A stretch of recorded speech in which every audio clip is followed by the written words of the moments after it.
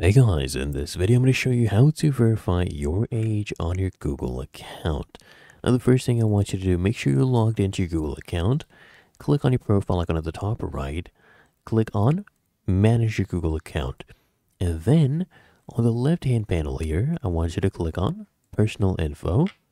Now I want you to scroll down where it says your birthday. I want you to click on it and you should see an option to basically verify your age. If you haven't done that already, then you click on it or where they prompt you on email. I want you to click on that and it should take you to this URL myaccount.google.com forward slash age dash verification.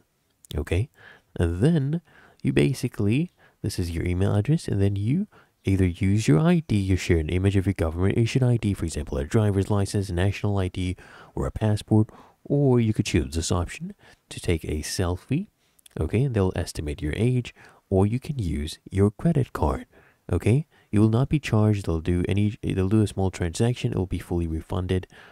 That's literally all you have to do. Choose one of these options, submit your document or use your credit card, and you are done.